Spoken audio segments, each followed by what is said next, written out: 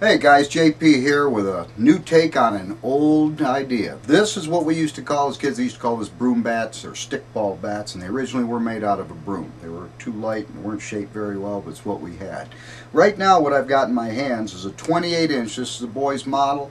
They come in different lengths. This one happens to be 10 ounces less than its length, so this weighs about 18, 17 and a half, 18 ounces. And the idea is that you've got a very small area to hit onto so it's going to increase your focus it's going to increase your muscle memory and the only thing we're going to do is ask you to swing like you normally swing. You can use this with wiffles of regular size or the small golf ball size wiffle balls but because this is actually a wood bat you're going to be able to swing with and against real machine pitch dimple balls and leather baseballs game balls as well.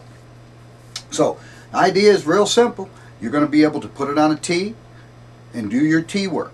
You're going to be able to do your toss work, your front toss work, and even live pitching. It's just simply going to make you focus a little bit more on swings you're taking anyway, and it just may preserve your very expensive game bat because they only have so much life in them too. So maybe get a little more use out of that as well as become a little more productive with your focus and your muscle memory. Any rate, this is our broom bat.